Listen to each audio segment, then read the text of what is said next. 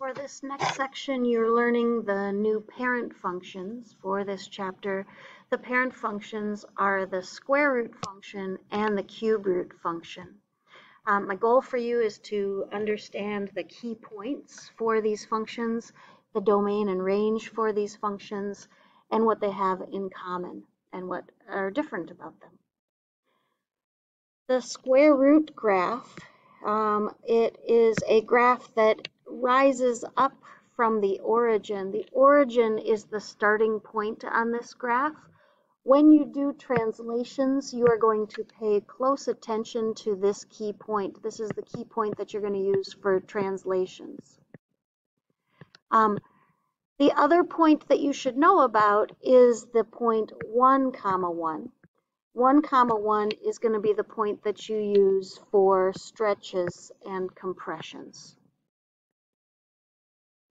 And the way you'll use it is you will multiply your y coordinate by a to do your stretch or compression.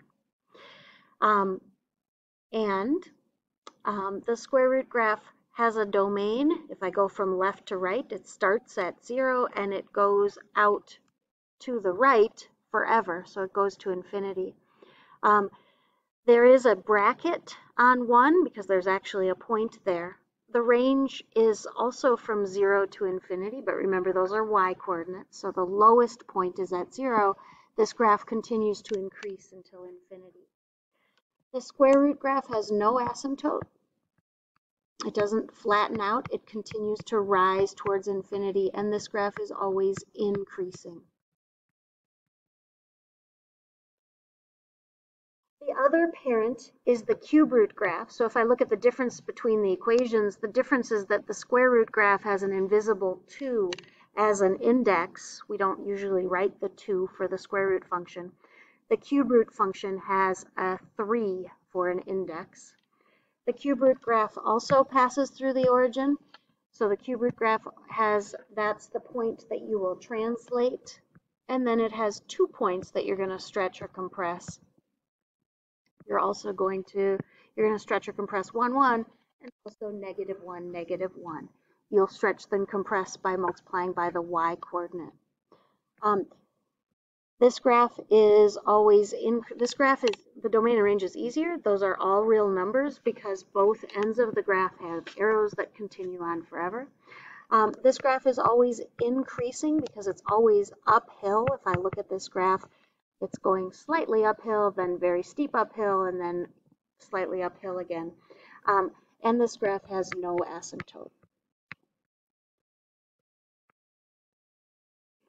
So um, if I look at my radical functions, my radical functions that I'm studying, that you're studying this chapter are the square root of x function and the cube root of x function.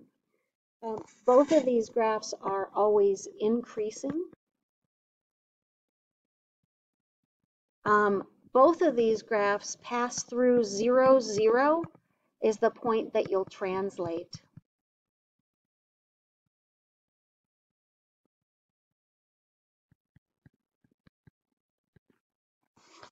Um, and neither of these graphs have asymptotes. You don't have to worry about those dotted lines for asymptotes. Um, the non-essential characteristics, we're going to just separate these out as characteristics of the square root function versus characteristics of the cube root function. The square root function has a limited domain.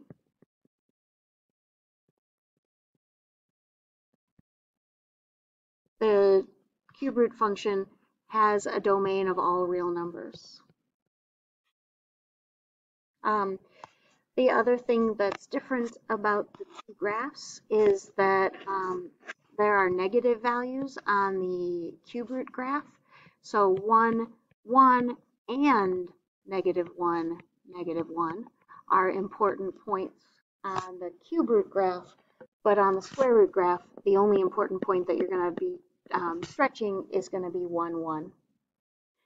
Um, the um, examples, I just want you to make sure that you are very confident with the shapes of these two graphs. The square root graph starts at 0, 0 and continues up towards infinity, and the cube root graph passes through 0, 0, but it has that kind of curved shape up and also down. So the square root graph is in quadrants 3 and 1. Some non-examples, um, sometimes people get confused with x squared and x cubed. The square root graph looks a little bit like an x squared graph turned on its side, but it only has one of the two halves. And the cube root graph and the cube graph actually look a lot alike. They're just turned sideways from each other. So um, we're going to be working a lot this chapter with these radical functions. So I'm going to have you make sure you know those two parent graphs for this unit.